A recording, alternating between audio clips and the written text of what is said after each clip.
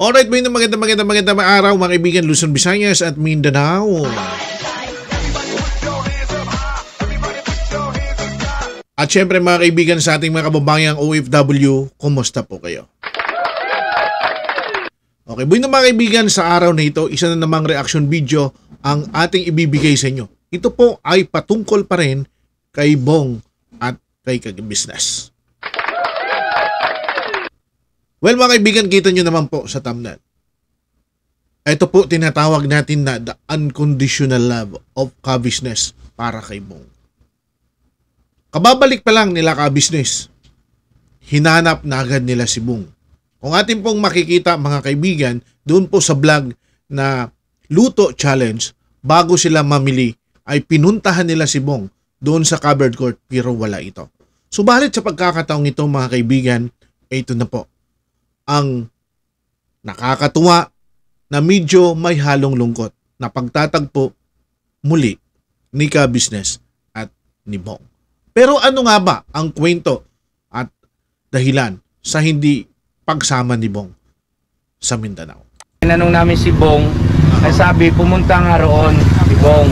At at tinanong niya kung bakit hindi sumama si Bong at saka ah 'di ba nung huling vlog natin kay Bong yung hinahanap.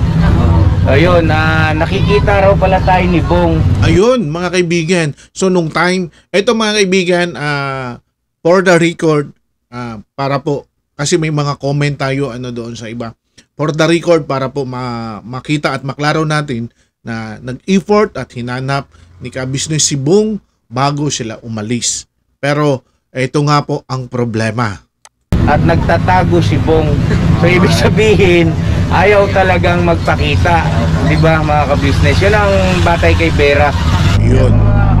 So, ibig sabihin mga ka-business, mga kaibigan, mga kapatid, nakikita sila ni Bong. So, pinanonood lang sila ni Bong. Ah, ayaw ho talaga ni Bong sumama doon sa Mindanao. So, kung anong kadahilanan at kung anong rason ay siya lang ang bukod tanging nakakaalam doon. So, dito, mawawala na po yung agam-agam natin na ah, hindi nais ni ka-business na isama si Bong sa Mindanao at least matatapos na po yung issue na yan. Gustong gusto man isa o gustong gusto man isama ni Kabis ni si Bong pero sadyang ayaw nga ni Bong. Katunayan, nakikita nga pala niya si Kabisnes at nagtatago lang siya. Pero sa pagkakataong ito mga kaibigan, matapos silang bumalik, kaya nga tinatabi na sinasabi nating the unconditional love of ka-business, hindi pa rin sumuko si ka-business. Patuloy pa rin hinanap si Bong. Mula sa isang misyon, nang pauwi na sila, maggagabi na, ginagalugad pa rin nila ang kalsada at nakikipagsapalaran para makita si Bong.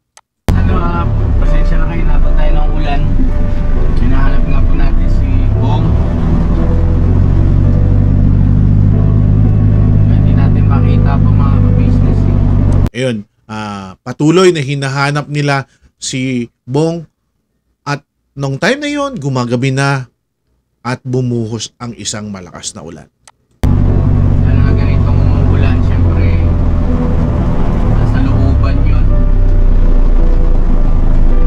Alam niyo mga kaibigan, the reason why na gustong-gustong makita ni ka-business si Bong, alam niya ang sitwasyon. Lalong-lalo na pag ganyang umuulan. Nai-imagine niya kung saan natutulog si Bong. At pagka ganyan, na nalalaman niya, nararamdaman niya at nai-imagine niya kung saan natutulog si Bong, kinukurot ang kanyang puso. Nasasaktan din po si ka-business pagka ganyan pong sitwasyon. Tingnan, tingnan niya dyan, bye.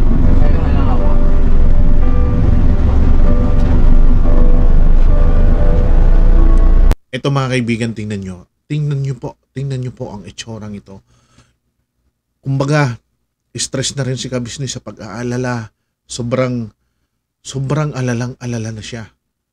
Sobrang nalulungkot na ang kanyang mukha. At tila, hanggat hindi niya nakikita si Bong ay hindi makukontento yung kanyang araw. Kaya hindi siya sumusuko sa paghahanap kay Bong. Talagang napakabuti nga ng taong ito. Hindi man niya kapamilya si Bong, pero hinahanap niya. Ganon din po naman si Bong. napakasbuti niyang ta, napakaswerte niyang tao. Nakatagpo siya ng hindi niya kapamilya, subalit, subalit itinuring siyang higit pa sa kapamilya. Magagabi na rin. Yun, no, maggagabi na rin po. Palingalinga si ka-business. Maggagabi na rin po. Alalang alala na siya rito. Saan? Ay, eto, huli ka. Ayun mga kaibigan, nakita. Nakita ngayon si Bong. Oho. Ah, kaya nga sabi niya, eto huli ka. Nakita ngayon si Bong. Ito na ang itinakdang pagkikita nila mula nung magbiyahe sila sa Mindanao. Ano kaya yung magiging kwento? Ano kaya yung magiging itsura? At ano kaya yung masasaksihan natin? Yun. Bang! Lika! Ngayon, tinawag si Bong. Tinawag si Bong. Umuulan na yan mga kaibigan. Bang, wala akong payong, Bong! Bong! Ayun, papalapit na si Bong. Si Bong napakabait din naman tao, no? Sinabi ni ka-business, Bong, wala akong payong, Bong. Si Bong naman nagkusang lumapit papunta. Palapit siya sa sasakyan. Dito ka sa loob! Sa sandungis mo na. Ay, grabe yung mga kapatid. Ito na yung sinasabi niya, oh. 'Di ba? Ito yung rason kung bakit ayaw niya talaga na si Bong naglalayas. Ayaw niya na nagtatagal si Bong sa kalsada. Kasi kung nagtatagal si Bong sa kalsada, bumabalik siya sa dati. Kumbaga, back to zero na naman. Madungis na naman si Bong. Ayan na naman yung itsura niya. Hindi ba nasasa... Nakakasakit ng damdamin yon. Balik ko, balik ko, balik ko. Ha? Babalik ako. Oo. Balik ko. Kailan? Basta. Anong basta? Ah, balik ko, ko. Ayun, uh, sa, tinanong siya ni ka-business, no? Ko na, may ano, may kapansanan po. Ah, na, nakainom ka ba? O, tinanong siya ni ka-business. O, o nakainom ka na naman. O, ah, kita naman sa ano pa, tila yun nga ho ang, ang status ni Bong, no? Ay, lang po. Ay, kuya, huwag kayong magpabasa. Yung WD, ano po, shop lang po. Apo. Lang po. Maraming salamat. Ayan, bumalik si Bong uli doon.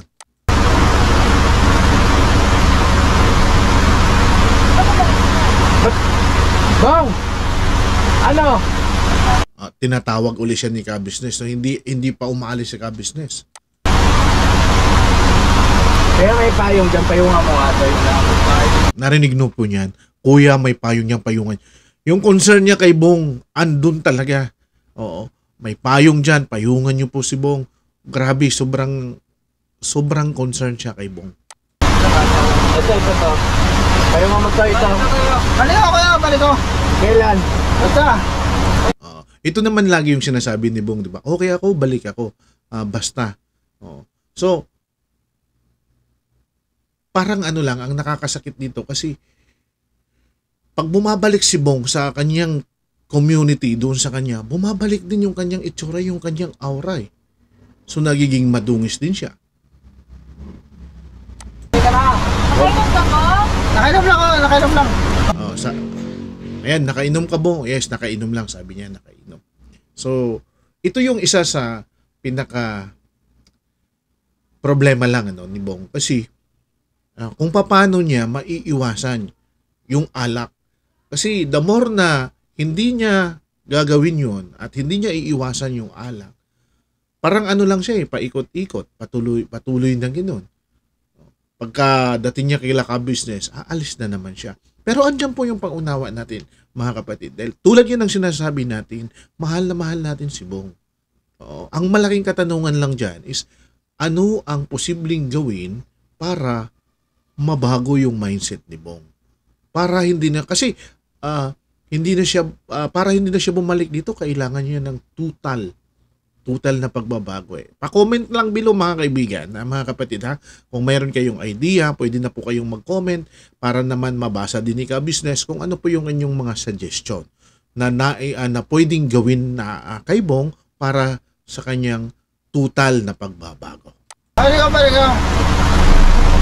Nahanap ka namin kahapon eh. Wala akong kapon dito, wala akong kapon. Nasa kabila ako kapon. O, di ba? Hinahanap ka namin kahapon. Kabila. Wala, wala na akong battery. Sa kabila. Na lang, uwi na lang. Dungis mo na naman, no? Kanina mga damit yan. O, di ba? Dungis mo na naman. Talagang nandyan yung concern ni ka-business para kay Bong. Ayaw niyang makita sa sitwasyon na yan. Ayaw niyang makita si Bong sa ganyang klaseng sitwasyon. Ito pa yung dati pa na. Alam mo, dati ka rin iba yan, ha? Iba yun, oo. Uwi na na, uwi na ako. Sino yung kasama mo? Hindi ako. Ha? Wala. Ano? Wala. Ano Uwi wala? na lang, na lang. Lang ako. Ganun lang si Bong, di ba? Pag ah, laging na ano, uwi lang ako, uwi. Ang problema lang kasi ni Bong, kapag gusto niya, hindi siya pwedeng pagbawalan. Eh. Yun ang isa sa ano. ah well, mga kaibigan, ah, inalam ko, nagbasa ako ng ganitong klaseng ah, behavior ng tao. Yung si Bong kasi, ah, ano siya eh, kumbaga, matagal siyang nasakop eh, ng ganyang ah, habit na yan eh. Matagal na, na nilamon at ah, pumunta na po yan sa kanyang ah, isip, sa kanyang pag-iisip, sa kanyang utak na yan. So, yung utak niya, hindi niya gaanong nakokontrol. Yun ang laging nagdidikta sa kanya na, oh, hindi, ah, pag namimiss niya yung alak, yun ang nagdidikta, babalik siya dun sa community. So, tulad yan ang sinasabi natin, kailangan ng ah, total na pagbabago. At ang pagbabagong itong mga kaibigan ay kailangan maging kaparte si Bong. Ah, nandyan sa, sa kanya yung pagpupursigi. Pero, yun nga ho, kung paano nga ho gagawin dahil hindi naman po madali ang ah, pagbabago na yan. Proseso po ang kailangan doon. Saan yung ilaw dyan? Wala ba flashlight na lang? Hindi lang kausapin kita. Ayan, sabi ni ka-business, saglit lang ah, kausapin kita. Kaya yan po mga ka-business.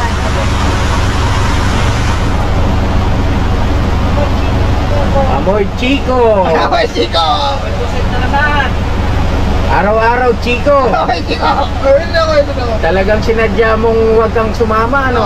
Ayun, no, talagang sinadya mong wag na wag kang sumama. No, Ah, sinadya mo talaga, no?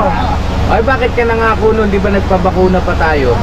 Oo. May, May, ano, tawa lang ng tawa na lang siya, no? Ah,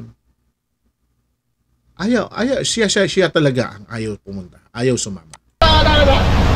ayun yung sinasabi ko mga business, pagka ayaw niya, ay magagawa. Uh, yun ang ano ha, yun ang sinabi ni ka-business kung ayaw niya, walang magagawa. So, kumbaga, ah, alam na niya, alam na niya yung behavior ni Bong, alam na niya yung yung ano, yung kumbaga alam na niya yung kanyang galawan, no? At ah, ito to the extent na ayaw na lang nilang magkasakitan at to the extent na ah, ayaw niyang mapawalay si Bong dahil nga doon sa un- unconditional love na kanyang binibigay kay Bong. Inuunawa na lang niya ang sitwasyon. Pero mga kapatid, sa tingin ko, ah, ito opinion ko lang, ah, pwede rin po kayong magbigay ng iyong opinion.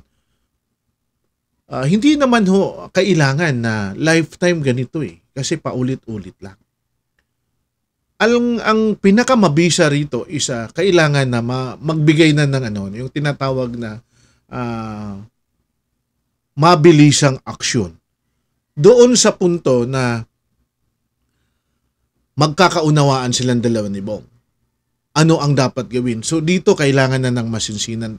Sa, sa tingin ko lang kailangan ng masinsinan pag-uusap, si Kabis uh, at si Bong ipaunawa sa kanya kasi matalino naman si Bong eh. Matalino si Bong. Hindi ho siya ano, matalino po si Bong.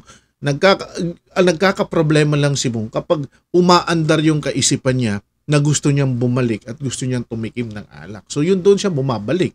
Uh, yun ang isa sa pinaka problema kasi pag ang isip ano to eh may may may right and left membrane tayo kapag yung ka, yung utak ho ang nagdidikta sa atin na uminom ka uminom ka so ayun oh, napupunta siya doon ikaso nag-i-enjoy siya dahil may barkada na nga siya hindi rin natin alam kung ang kanyang mga barkada yun yun lagi ang nagbubuyo sa kanya no Oo, para at least syempre alam naman niya kahit papaano ah, may pera si Bong kasi binibigyan siya ni ka-business at pag wala siyang pera, mabilis siyang dumilin siya. Nangangalakal siya. So isa yan sa dapat pag-aralan, isa yan sa dapat tingnan. Ano? Kayo po, ah, mga kapatid, ha, ah, tulungan po ninyo. Ah, gusto ko lang natin uh, magkaroon tayo ng idea kung paano natin ma- mabibigyan ng idea mabago si Bong ano uh, sa ganitong kaparaanan no hindi po natin siya kinukunin na pare-parehas po nating mahal si Bong. Kapag ayaw, ayaw mo sumama. Ah. Saka na kuya, saka na kuya. So ah, asap sabi ni ka business, ba't ayaw mong sumama sa kanila? So sa puntong ito mga kaibigan, hindi nila napilit si Bong na sumama at uh, dito kusang lumayo na lang si Bong. Promise naman niya babalik, umalis si Bong. At ah, walang nagawa sila ka-business. Ah, sige na, mga Ayan. business, ah, tuloy na tayo. Ah, sige na, tuloy na tayo. Yung ilaw natin. So ayun mga kaibigan, ah, wala, hindi nila naisama si Bong. Ah, sabi nga ni ka-business, nakakalungkot, no? Nakakalungkot. lang. Wala talaga, ah, sabi ko talaga matigas ang ulo ko. Ayun. Sabi naman ni Mrs. Ka-business, ah, talagang matigas ang ulo ni Bong. Yun yun ang, ang sabi nila. Hindi, hindi sa ganun. Nakaulan talaga oh. Oo. Pero si ka-business, ah, na- nakikita natin, kaya nga sabi na natin, the unconditional love, kasi di ba sabi niya, hindi ah, sa ganun. So, pilit niyang pinupositibo ang lahat at pilit niyang inuunawa si Bong to the point na pinakamalalim na pangunawa, ibibigay niya. Ayun na. Pero mga kaibigan, tingnan nyo ha, ah. tingnan nyo ang senaryong ito. Ito yung nakaka, nakakakurot ng damdamin. Habang papalayo siya, sila, si ka-business, pumapaling pa rin ang mata doon. Kay Bong, tinitingnan pa rin niya si Bong. Alam niya sa pagkakataon na yun, hindi safe si Bong sa ulan. Alam niya, pero wala siyang magagawa dahil ayaw lang sumama talaga ni Bong. Pagka gusto-gusto niya, ayun na. Wala, tumakbo na doon. oh. Wala. Sa pagkakataong ito mga kaibigan, tingnan natin. Malungkot si ka-business. Malalim ang kanyang pag-iisip. Grabe ho ang lungkot na kanyang nararamdaman. Pero para sa akin, siguro kailangan na talagang mag-isip. O, kailangan pag-isipan kung paano mabibigyan o masusolusyonan itong problema ni Bong. Kasi kung hindi ito o hahayaan lang sa ganitong senaryo na pag gusto ni Bong aalis ay aalis siya, ang mangyayari niyan paulit-ulit lang. Mga kapatid, kung kayo po mahal niyo si Bong, tanungin ko kayo, ano po ang maibibigay ninyong suggestion para kay ka-business na nararapat niyang gawin? ASAP, ibig sabihin, as soon as possible, kailangan niyang gawing aksyon para tuluyang mabago si Bong. Ito po ang rason mga kaibigan kung bakit binigyan natin ng reaksyon. Tulungan niyo po ako sa pag-iisip na yan. And this time, babasahin ko rin ang inyong reaksyon kung ano ang inyong suggestion na dapat gawin ni ka-business. Dito po sa pagkakataong ito, nais kong manggaling sa inyo ang suggestion na yan para mas higit na makita natin ang damdamin at salubin ng ating mga nagko-comment. Maraming maraming salamat po mga kaibigan sa inyong pakikinig. Although in-update ko lang kayo na nagkita na po si ka-business, si ka-business at si Bong sa pagkakataong ito. Hindi man sila mapalad na nagsama pagkat ayaw ni Bong. Pero at least sana, dalangin natin, bukas or sa promise niyang sa Monday, makauwi na rin siya sa bahay ni ka-business. Sa muli po mga kaibigan, Miguel Love shoutout po sa ating mga kabatid na nandyan at patuloy na sumusubaybay sa atin, sa ating mga kapatid na ka-business family. Maraming maraming salamat po sa inyong suporta na ipinapakita sa akin. Dalangin ko po na samahan niyo ako sa aking panalangin na sana po ay suportahan po natin si ka-business maabot ang kanyang 1 million subscribers sa taong ito. By the way, congratulations! Tumataas na po si ka-business mga kaibigan. Ah, 3,700 3 300 376 rather, parang gano'n, no? 376,000 na po mga kaibigan ang kanyang subscriber. Nung una po ay 373. So tumaas po ng 3,000. Si Papa Dinis naman ay tumaas na rin po mga kaibigan. Ah 90.9 yata no kung ah, kung hindi ako nagkakamali. So si Papa Dinis ay tulungan naman natin maabot ang kanyang silver button. So, yan po hanggang dito lang po muna mga kaibigan ng ating reaction video. Sana po sa bawat reaction ay mula sa dulo, mula sa umpisa hanggang sa dulo ay tapusin ninyo para hindi po tayo nami-miss, ah, hindi po ma-misinterpret kung ano po yung nais sabihin ng nagre-react. Sa muli po, maraming salamat sa pagtitiwala. Miguel Love shoutout po sa ating Team Ayuda, ah, Team Pima, Team Bornibol, Siyempre ang ating Team Budol na laging nandyan, Team Kasangga, Team Waray, uh, Team Happy, Team Raid, at sa iba pa nating mga kasamang nandyan. Thank you, thank you so much po. Ako po si Taong Gala, God bless and bye-bye. Hanggang dito lang po muna.